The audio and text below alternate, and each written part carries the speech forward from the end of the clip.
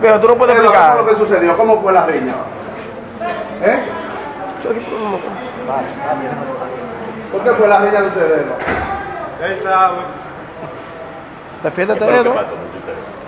¿Qué pasó? Ey, no.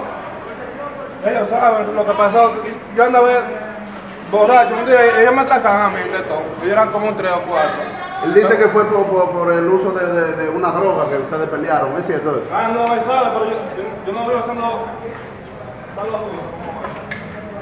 Lo que sucedió fue que él estaba, estaba usando vicio malo con Roco Loco. Entonces él le ayudó a fumarle la- el crack, Roco Loco. Entonces cuando él le fumó el crack, Roco Loco le entró a golpe para que él comprara.